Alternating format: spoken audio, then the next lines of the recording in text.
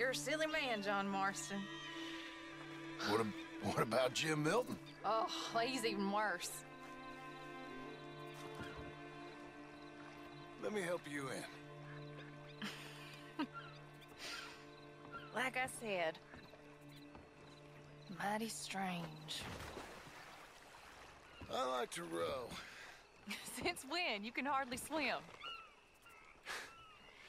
I don't plan on capsizing. I wonder whose boat this is. It don't matter. We'll have it back. I hope they don't think we're... They won't think anything. Don't think. We're borrowing it. Hope it don't got leaks or nothing. She's seaworthy, okay? Relax. Look around. All I can see is a strange man rowing. I thought he was John Marston, but now I suspect he's been replaced with an imposter. Here's good. Ain't it pretty?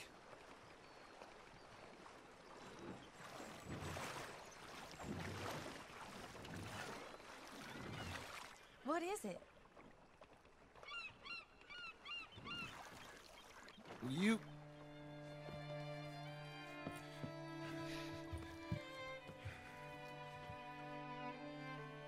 Will you marry me? Get up. I am married to you. No, I mean proper. In front of God. You serious?